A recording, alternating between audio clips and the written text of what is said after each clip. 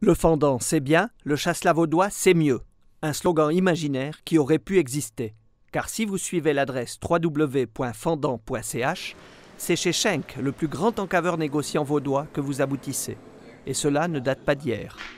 On a commencé en 1998 à déposer différents noms de cépages ou de marques. On a déposé Chasselas, par exemple, un site qui est déjà en action, qui renvoie entre autres sur le fendant. On a déposé fendant.ch et puis aussi dole.ch. Mais rassurez-vous, aucune mauvaise intention par rapport à nos appellations, seulement un intérêt commercial évident. C'est des vins avec lesquels on travaille. On est quand même présent dans le Valais avec euh, deux caves principales sur euh, Sierre et Chamoisan.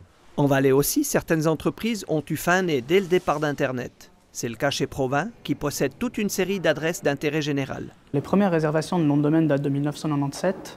Aujourd'hui, on a plus de 50 noms de domaine qui sont enregistrés au nom de, au nom de Provin dont entre 6 et 7 noms de cépages propres qu'on a réservés au milieu des années 2000. Des adresses utilisées essentiellement pour rediriger les internautes sur les pages du site principal de la coopérative.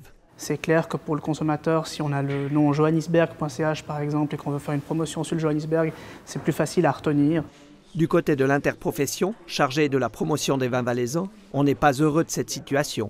Quelques noms de domaines réservés en 1999 par le service de l'agriculture ont pu être récupérés. Pour le reste, on a fait ce qu'on a pu. Nous sommes propriétaires actuellement de 39 euh, adresses euh, qui va de petite euh, arvin.ch jusqu'à malvoisie aoc.ch en passant par Gletscherwein. Actuellement, nous sommes en train de réaliser quelques acquisitions pour les noms euh, restants et les possibilités restantes. Pour le spécialiste, cette situation cornélienne n'est pas étonnante. Mais est-ce que c'est grave, docteur? Oui, ça peut être grave si la, personne qui a réservé ce nom est, mal intentionnée. Mais le principe sur Internet, c'est toujours le premier arrivé, premier servi. Donc il faut protéger son identité euh, numérique. Du côté de l'IVV, on a l'intention de négocier pour récupérer ce qui peut l'être. Si chez Provin on est ouvert, d'autres le seront moins. A priori, on garderait le nom chez nous. Comme c'est un site qui est très ouvert, que l'on fait, qui est d'ordre général, on verrait pas très bien pourquoi euh, changer ça. Le fendant et la dôle resteront donc otages numériques de nos amis vaudois. À eux d'en faire la promotion. Par leur cave valaisanne, bien sûr.